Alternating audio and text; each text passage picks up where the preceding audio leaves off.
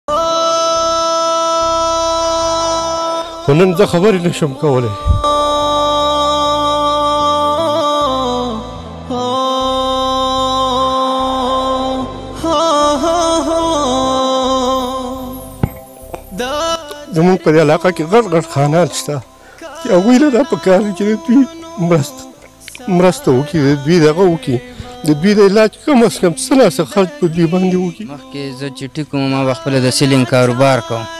اوس دا تقریبا یو نیم کال شو چې کټ ته پرېوتی ما نو دړۍ وزن هم نشم وجوتولی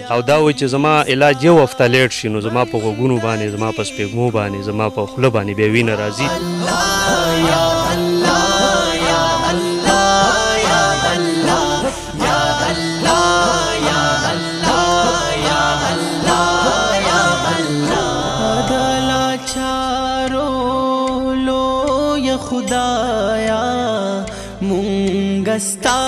هم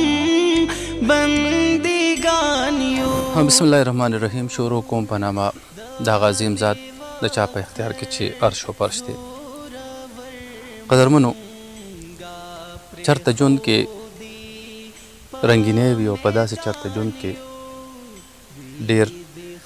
زیات سنګین صورتحال راځي دلته یو کلی ته راغلی یم او د داسې یو مریض چې هغه جون ډیر زیات په کړمونو کې دی د هغوی سره به ستاسو ملاقات کوم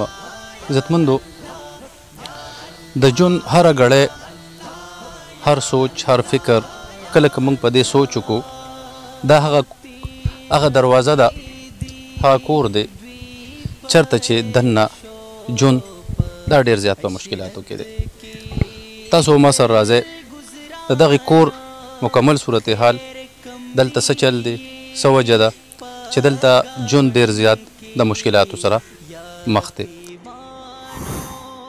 زمونږ همېشه دغه کوشش وي چې په داسو دروازو باندې ورشو چرته چې ژوند اخیري سلګی وي. دلته که تاسو وګورئ عزتمندو دا د لرګو دغه کوټنۍ بیا دغه د غنغرې چې اور پکې زما په خیال چې څو ورځې نه دی بل شوی عزتمندو دا کمره ده او دې کې دغه زمونږ یو شازلمې ژوند کوي چې یقینا تاسو دلته وګورئ دلته زما په خیال چې جون تیرول زناور د پاره بم ډیر زیات مشکلی عزتمندو جون چې دی دا په سلور قسمه دی او هغه کې لومبه جون چې دی دا بیماری دی او دویم جون هغه د صحت جون دی جی او بل جون چې دی هغه د امیرای جون دی جی او بل د غریبای جون دی جی د امیرې جون دا الله تعالی د دغه د پاره کړی دی چې دې به سخا کوي دا زرای الله تعالی موږ ته خودلې دي چې په دې به موږ جنت ته ځو هغه به وس خلکو مدد بکو د دې په ذریعہ به موږ جنت ته ځو جی او د بیماری جون دغه جون دی جی کم چې خلک مرستيال جوړيږي خلک عیادت کوي بیا چې تپوس وشي د دغه مریض نه او یا زره فرشتې د هغه مغفرت دعاګانې غواړي جي دا څلور واڼه د ژوند دا کمې خبرې چې ما تاسو ته وکړې جي دې کې د انسان زمونږ د مسلمان د انسانیت فایده ده جي دغه تاسو ګوره دغه تنور دی چې په دې کې روټۍ پخیږي دا هم وران ویجاړ دی دې کې هم ډېر وخت اور نه دی بل شوی جي دی کور کې یو سختن دی یو څه مشکلات دي دغه رور سره زه ستاسو ملاقات کوم جي چې دا څه بیماری ده د السلام علیکم وعلیکم سلام ستا د جون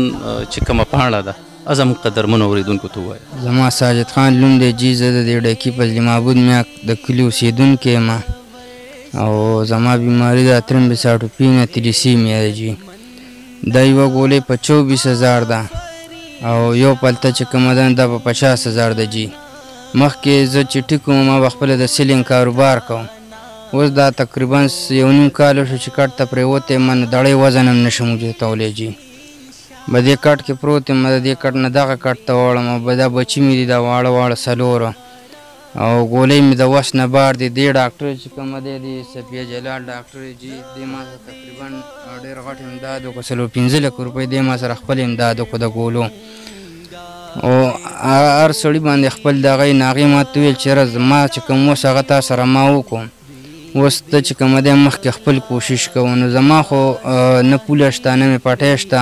چې څه اړي موړي وغه ما په ځان کېښودله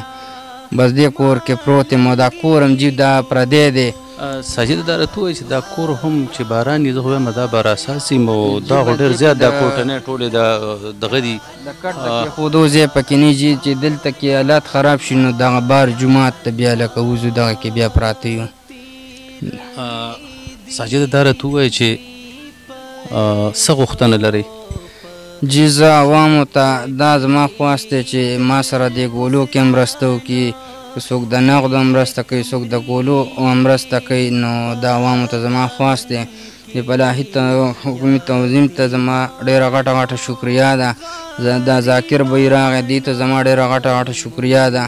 چي دي زه یاد کړم دي ټولو ورونو بي ګانو زه یاد کړم دي ته زما ډېره غټه غټه شکریه ده جي. دا راته ووایه چي امید فلاحي تنظیم مفتي زاید صاحب مشري کوي ده دی زمونږ انجنیر عباس صاحب دی انس صاحب دی الماس بي دی. دا ټول ملګری د دی ملګرتیا کی تاسو سره خو کافی هیلپ هم دوی کو راشن هم راوړو. دوی ما سره پرون هم څه ساړه پندره هزار روپۍ جی امداد کړی وو او نن هم چی کومه دی د راشن په دغه باندی ما سره دی ډیر غټ د امداد وکړو زی ډیره غټه شکریا ده. څو بچی دی تاسو سره؟ زما څلور بچی دی دوه هلکان دی دوه جینکۍ دی جی. قدرمنو ددغه شاه زلمی چی یقینا تاسو ته ښکاری ماته. دلته کې وویل شو چې د ده په پوزه په غوږونو باندې وینه هم راځي او دومره په مشکلاتو کې ګیر دی دا به دام د ژوند حقدار دی زمونږ ازمیښت یو سختن دی او غره هغه خلکو د پاره دی کم خلکو چې وزداري راځي زه تاسو سره دوی باتروم خیمه چې د کور هغه باتروم تاسو ګوره قدرمنو تاسو تاسو به حیران شئ چه دلته کې باتروم نشته د اوبو سیستم نشته د دې ځای نه جی اوبه راځي د دې ځای نه او هغه اوبه هم نن نشته او د دې په ذریعه باندې دوی خپل چې کم حاجت دي هغه پوره کوي د 2020 په دغه وخت کې د چاپرچل هغه خانان هغه خلک هغه سرمایدار د دې نه به تپوس کیږي قدرمنو دا تاسو وګورئ دا د دوه زره بیس زما په دغه شاه زلمي باندې څه تیریږي خبره صرف دومره ده چې ازمیښت د ساجد د پاره نه دی ازمیښت زمنګ د پاره دی ما خپل आवाज اوچت کو ما هغه اواز د خه ددې رور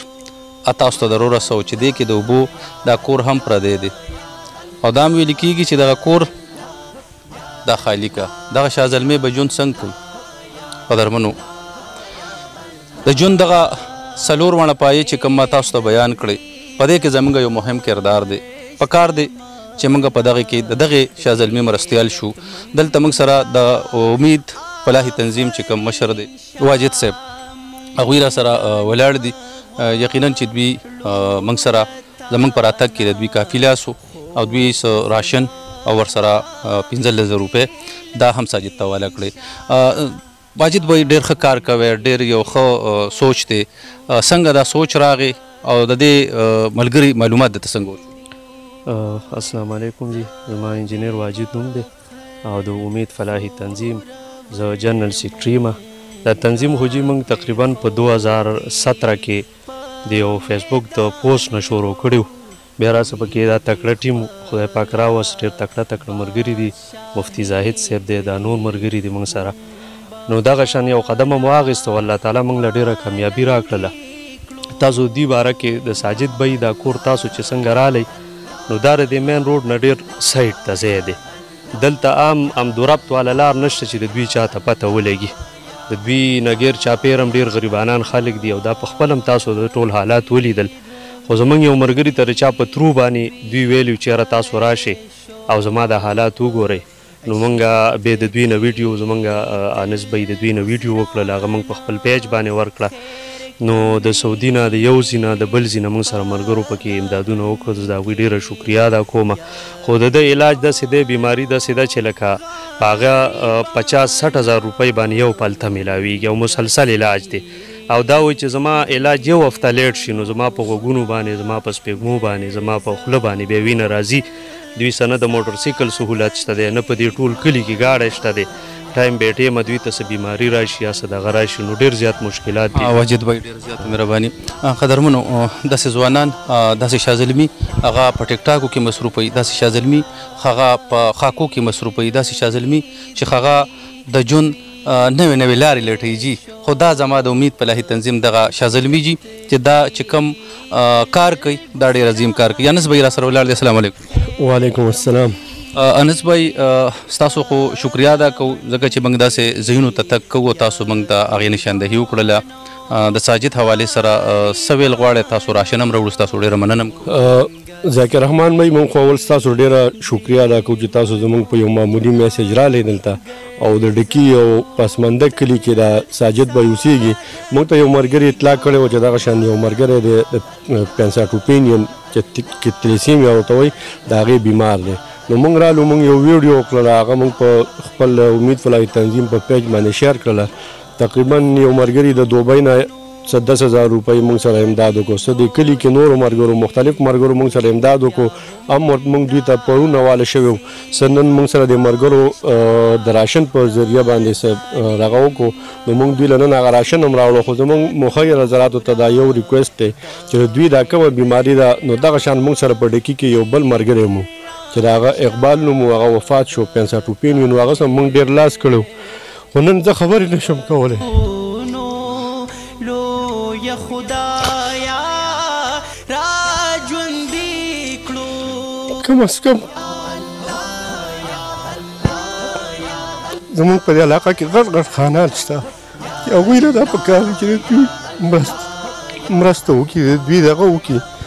د دوی د علاج کم از کم څه ناڅه خرج په دوی باندې وکړي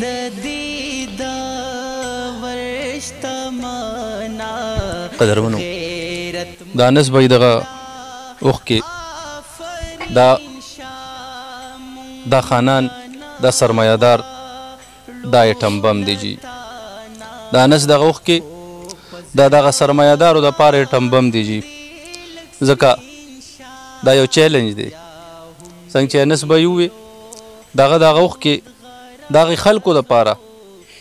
دغه خلکو د پاره دعوت ته چې داسې خلکو ستاسو په چم گاوند کې ستاسو په چاپیرچل کې داسې خلک جون کوي دا د جون په تمه دغې دروازې ته ګوري چې انس به راځي واجد به راځي الماس به راځي دی به راځي او دوی به دوی به زما ملاتړ جوړېږي